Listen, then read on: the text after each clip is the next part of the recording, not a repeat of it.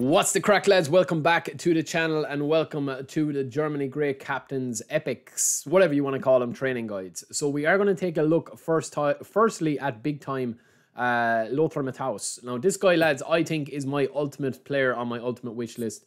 If I was to get him, I think he would replace Vieira. I know I go on about Vieira the whole time, but I genuinely think that this guy would probably be super good for me. Now, I know he's small and he is kind of like Kante in that he gets around the pitch, um, but not as defensive as Kante. So that's something that we're going to take a look at here. But anytime I've seen him play, and he was one of my favorite players in PES 2021 as well, he was just, you know, always in my team, um, always there in the squad, ready to rock and roll. Would he replace Vieira? I'm not too sure, but I definitely would try try to try to to answer that question. Now he does have unwavering form. He's locked on B rating as a big time, and of course he does have some very nice player skills as well. First time shot is nice if you're playing him attack wise, weighted pass, true passing, man marking, interception. So a nice mix between passing and defensive. He doesn't have one touch pass and he doesn't have blockers. So if you are playing him attacking, he's going to be missing out on one touch pass that you need to add to him. And if you are playing him defensively, you will probably need to add blocker. I would also probably add sliding tackle to him, um, just to kind of have him a little bit more well rounded.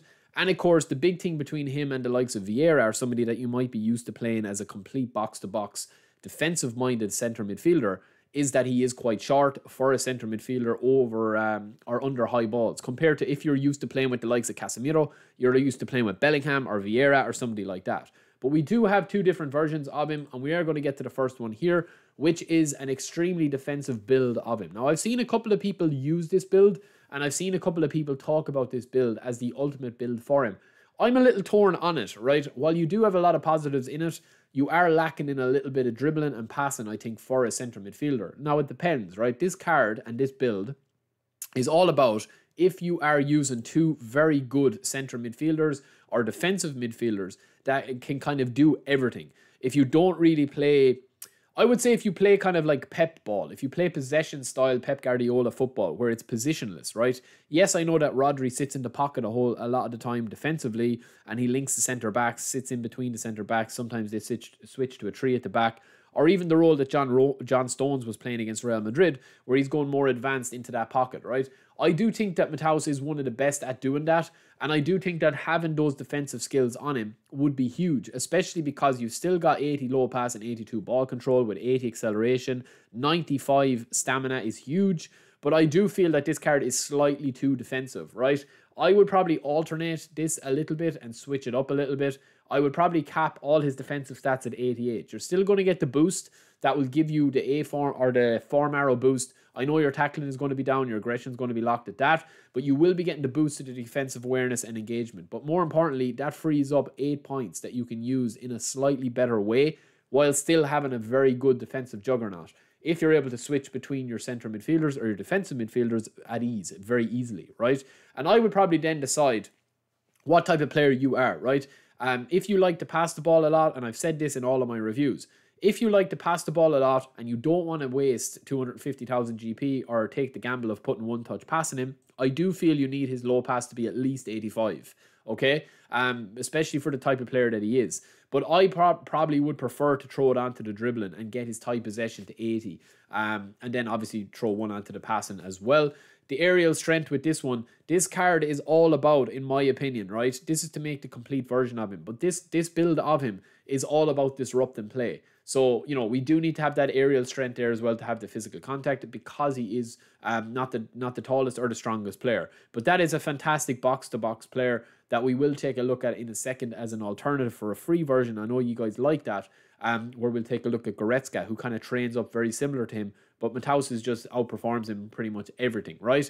The next version we have of him is a more attack based. So you've got 10 into passing and dexterity, 12 into lower body to have a whopping 96 stamina. And again, you still have 8 into defense. I think this is probably the more complete version of him. Now, if you do not need to focus too much on defense, I would cap that at maybe 75 tackling. You're still going to get the boost. No, I'd probably cap it at 80 aggression. Um, I'd pop 5 in and put all those stats at 80, just on the off chance that you don't get the form arrow going your way, which is, often happens me. And I would probably cap it at 80 there and then pop the rest on depending on how you wanted to play him, right? If you wanted to be able to hassle around the place, you have enough speed and acceleration and acceleration there. Um, but I would definitely, or stamina, I should say, sorry, but I would definitely probably pop on a few more to the dribbling to get that up, or else I would just go all out with the passing and go to 90 passing. That's kind of where I would go with him if you wanted the 97 rated version of him, right? 12, 7, 10, 12, and 5. So yeah, there's multiple versions of him, as I said, but it depends on the role. I think that Matthäus is better off freed up a tiny bit from his defensive role and play him kind of like Patrick Vieira. That's how I would play him. So even if we were to take a look at Goretzka, who is one of my favorite box-to-box players of all time in the game, right? He's got one touch pass and interception, but he's also got fighting spirit.